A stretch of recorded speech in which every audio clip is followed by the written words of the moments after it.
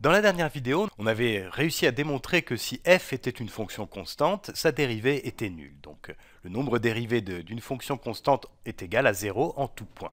Et ça, on l'avait démontré d'une part par le calcul, en repartant de cette définition du nombre dérivé, et puis aussi on en avait donné une interprétation graphique hein, pour essayer de bien comprendre ce que ça voulait dire, et euh, ça c'est quand même toujours un bon réflexe. Donc ça c'est un premier résultat important qu'on avait démontré dans la dernière vidéo. Et dans cette vidéo, on va trouver deux autres résultats assez importants. En fait, on va considérer deux cas que tu vas rencontrer très très fréquemment. Et tu verras que, en fait, ces, propriétés qu'on va voir dans la vidéo précédente et dans cette vidéo, eh bien, ce sont des propriétés que tu vas utiliser en permanence, sans arrêt, quand tu vas dériver des fonctions. Donc la deuxième propriété que je voudrais voir maintenant, c'est qu'est-ce qui se passe quand euh, on a une fonction f qui est définie comme ça. f de x, c'est k fois une autre fonction g de x. Donc k est une constante. Hein. Par exemple, si tu sais dériver la fonction g de x égale x, eh bien ce qu'on va voir, c'est comment dériver la fonction 2 fois x. Donc ça, c'est effectivement très intéressant. C'est le genre de choses qui va nous arriver très souvent. Et donc ici, ce qu'on va trouver, en fait, c'est que la dérivée de f, donc f' de x, eh bien c'est k fois la dérivée de g. C'est-à-dire qu'on peut sortir la constante de la dérivation. Donc ça, c'est le résultat qu'on va essayer de prouver dans cette vidéo. Alors évidemment, on pourrait donner une interprétation aussi graphique, hein, parce que cette relation-là, elle veut dire en fait que le coefficient directeur de la tangente à la courbe f au point d'abscisse x, eh bien c'est k fois le coefficient directeur de la tangente à la courbe de g au point d'abscisse x. Voilà, bon ça, ça serait quelque chose d'intéressant à faire. Ici, ce qu'on va faire, c'est directement essayer de le montrer par le calcul. Donc pour ça, je vais repartir d'une de ces deux définitions, hein, ce sont les mêmes. Je vais partir de celle-là qui est un petit peu plus générale. Et je vais donc écrire que f' de x, eh bien c'est la limite quand h tend vers 0 de f de x plus h moins f de x divisé par h. Et ici, maintenant, je sais que f de x plus h, en fait, c'est k fois g de x plus h. Donc, je vais pouvoir réécrire ça comme ça maintenant. h limite quand h tend vers 0, de k fois g de x plus h, ça c'est f de x plus h, et puis f de x, c'est k fois g de x. Donc ici, je vais avoir moins k fois g de x. Et je dois diviser tout ça par h. Alors tu vois que là, il y a quelque chose qu'on peut faire tout de suite, c'est, je remonte un peu pour faire de la place, c'est factoriser le k qui est là. Hein. Donc ça, je vais réécrire comme ça, limite quand h tend vers 0, du coup, je vais mettre k en facteur, donc ça me donne k fois g de x plus h moins g de x. Là, j'ai factorisé k au numérateur, et je divise tout ça par h. Alors ici, k est une constante, ce qui veut dire qu'elle ne varie pas en fonction de h, donc je peux le faire sortir de la limite, et ça va du coup me donner ça, k fois la limite quand h tend vers 0 de g de x plus h, g de x plus h moins g de x, le tout divisé par h. Et effectivement, ce terme qui est là, dans cette limite-là, c'est g' de, de x par définition. Donc finalement, on obtient bien ce qu'on cherchait, c'est-à-dire que f' de x est égal à k fois g' Voilà. Alors là, ce qui est intéressant, c'est que effectivement cette formule-là, elle peut paraître intuitivement juste, mais maintenant, on vient de le démontrer de manière rigoureuse par le calcul, en repassant par les définitions. Et donc, on est sûr que ça marche. Et ça, c'est quelque chose de très important en mathématiques, c'est que on ne peut pas se satisfaire de quelque chose qui a l'air juste. Il faut toujours s'assurer et démontrer que c'est le cas.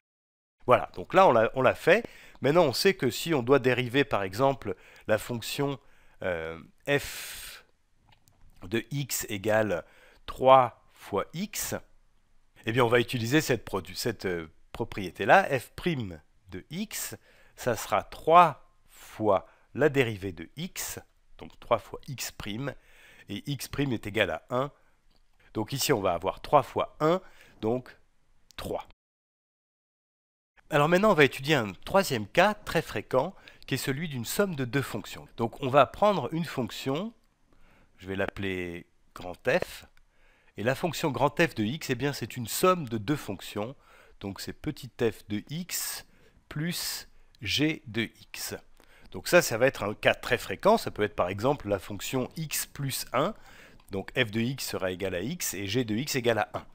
Eh bien, dans ce cas-là, on va démontrer que la dérivée de grand f, c'est la dérivée de petit f plus la dérivée de g. Ce qui veut dire que tout à l'heure, on avait réussi à faire sortir la constante de la dérivation. Ici, on va pouvoir dériver terme à terme.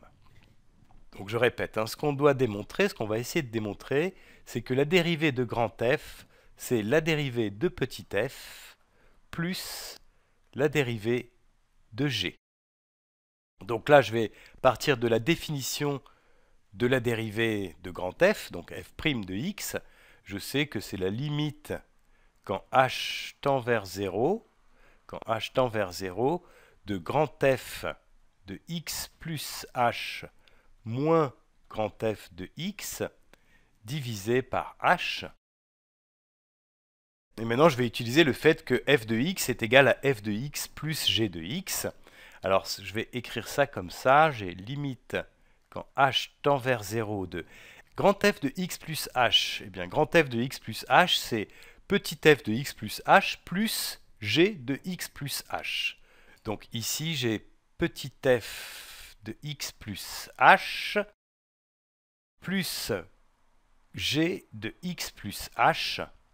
Ça, je répète, c'est ce terme-là, grand f de x plus h. Ensuite, j'ai moins grand f de x, et grand f de x, c'est petit f de x plus g de x. Donc ici, je vais avoir moins petit f de x plus g de x. Et je divise tout ça par h. Alors maintenant, je vais essayer de clarifier un peu ce que j'ai au numérateur. Donc je réécris ça. Limite quand h tend vers 0, limite quand h tend vers 0, de, et je vais déjà enlever ces parenthèses. Donc ça va me donner f de x plus h plus g de x plus h moins f de x moins g de x. Le tout divisé par h je descends un peu pour faire de la place. Et maintenant, ce que je vais remarquer, c'est que ici, j'ai f de x plus h moins f de x. Ça, c'est intéressant, puisque c'est euh, quelque chose qui est dans l'expression de f'. Et de la même manière, j'ai g de x plus h moins g de x, qui aussi intervient dans l'expression de g'. Alors, je vais écrire ça comme ça. Limite, quand h tend vers 0, de f de x plus h moins f de x plus g de x plus h moins g de x et le tout divisé par h. Et du coup, ce que je disais tout à l'heure, c'est qu'on a ici quelque chose qui est très proche du nombre dérivé de f au point d'abscisse x, et ici quelque chose qui est très proche du nombre dérivé de g au point d'abscisse x.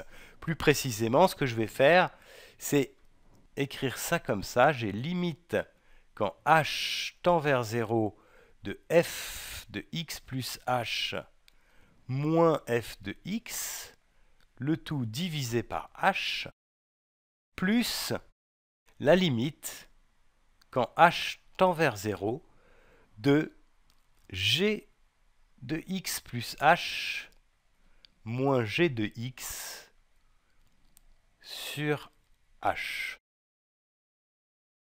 Et du coup, effectivement, on trouve notre résultat. Cette partie-là, c'est effectivement f' de x, et cette partie-là, c'est g' de x. Donc on trouve ce qu'on voulait, c'est-à-dire que f, grand f' de x, la dérivée de la somme de ces deux fonctions, eh bien c'est la somme des dérivés des deux fonctions, f' de x plus g' de x.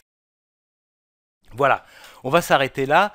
Il faut bien que tu comprennes pourquoi ces résultats sont vrais, c'est important. Et surtout, il va falloir que tu saches les appliquer très très facilement parce que tu vas en avoir tout le temps besoin.